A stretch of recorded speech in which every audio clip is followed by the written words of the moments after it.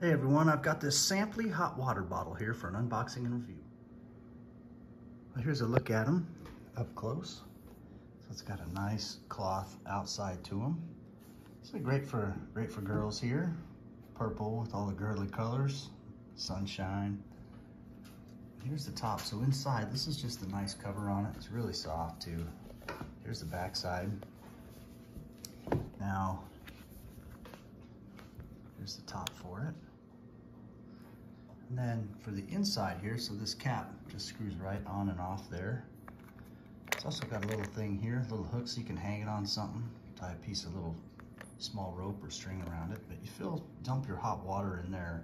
And the idea is that you fill that all up with water, put the cap back on nice and tight, and then you can put this like between your legs, underneath your armpits, underneath your ear, you know, make a nice little hot pad that's nice and comfortable uh, to lay your head on, just to keep you warm. Warm, Warmth and comfort is what these things are made for.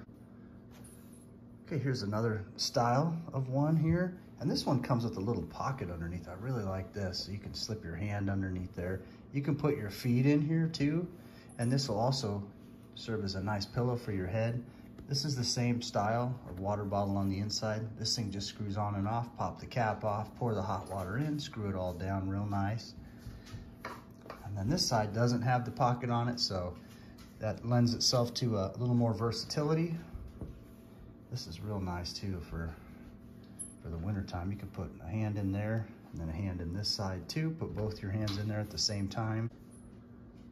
These things will make great uh, gifts or stocking stuffers for the holiday season. All right, you guys, thank you for watching. On the back of the box here, it gives all the instructions for use and some warnings as well.